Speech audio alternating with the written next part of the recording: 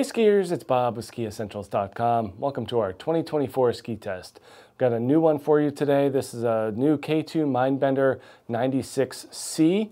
Uh, the addition of this ski to the carbon lineup in the Mindbender series is a very welcome one, kind of splitting the difference between the 89 Ti and the 99 Ti. Uh, they're kind of hitting that 90 right in the middle with this 96, uh, replacing that metal I-beam with uh, the carbon application that they use in the other Mindbender carbon series of skis uh, and just kind of giving skiers more choice and just a better range of skis to choose from when it comes to uh, mid 90s directional all mountain ski uh, that doesn't have metal in it. You know, the 99 for a big range of skiers is pretty cumbersome. So having something like this, which is a lot more maneuverable and arguably more versatile, uh, makes a lot of sense.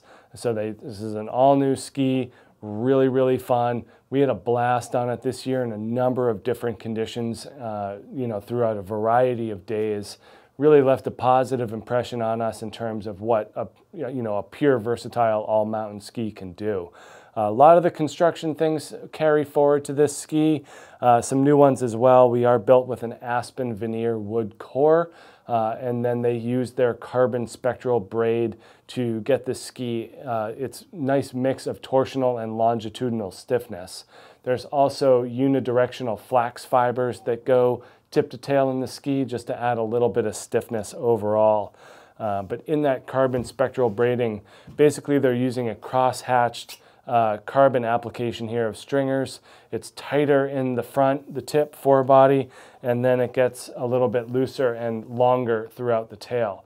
So that gives the front of the ski more torsional stiffness, helps it get up on edge easier, so reduces the twisting while also keeping it like nice and flexible in the shovel. This was a really nice part of the ski for us, especially in softer snow, was the ability to, you know, engage into the turn uh, with ease. You know, it's a nice mix of that uh, easy flex in the longitudinal manner and then contrast that with a little bit stiffer in the torsional. And then you kind of get the opposite with the tail where it's, um, you know, it's a stiffer fore aft flex and then it twists nice and easy. So it gives you more playfulness out of the tail. So nice firm initiation in the tip, good grip underfoot, and then a nice playful end in the tail. Um, like the 90C that's been around for a while, this is a kind of a mix of sidewall and cap. So when we look at profile, they kind of do a nice job of having it, having the rocker line up pretty well with where the sidewall ends, uh, giving you, you know, more grip underfoot and then tapering to more playful in the tips and tails. That's kind of a mark of the carbon skis, you know, when we're in the TI version of the Mindbenders, it's full sidewall tip to tail uh, allowing for better on-trail performance. But this one has a nice mix of those attributes.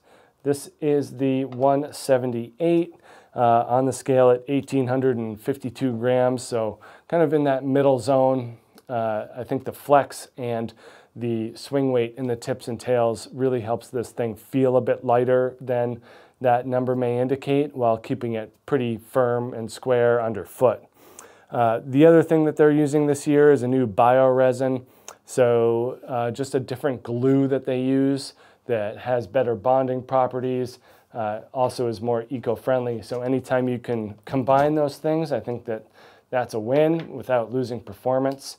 Uh, and then from a profile perspective, we still have that nice positive camber underfoot, nice energy built into the ski, and then a pretty long rocker profile here. When you when you decamber it, you can see it kind of pop out a little bit lower than where the sidewall starts, but if you just leave it alone, uh, that rocker starts about here, and the taper starts about where the color changes from brown to dark. So widest part of the ski brought down a little bit, but not too much. That kind of keeps a little bit of the directional mentality right in the fold. And then kind of a longer, lower tail rocker. Um, a little bit more splay than we see in the TI versions, giving this thing just slightly more off-trail personality and character. And then not a ton of taper, although it's nice and round and pretty consistent.